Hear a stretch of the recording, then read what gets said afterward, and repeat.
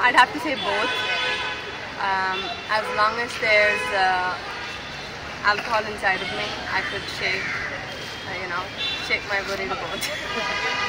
Uh, Bollywood. Reason. Um, I think it has more like it's more fun than English and has all these like really fun beats that you can dance to. And English is more like you can sing and stuff. Uh, Bollywood, any day. Reason. Um, I think it's just that we're able to connect with like the beats and the tempo and the way Bollywood music works. So yeah, Bollywood music anyway. I guess I'll prefer Bollywood over English music because uh, it has a desi feel and the music and the beats are kick-ass and the lyrics is obviously it's Hindi so I speak Hindi and I can feel the music. Uh, so yeah, overall I prefer Bollywood is more better than English music. Bollywood.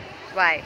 Because uh, the music, Bollywood music, is what like everybody knows. They can relate to it, and it's peppy and it's catchy, and like yeah, it's something really close to us. So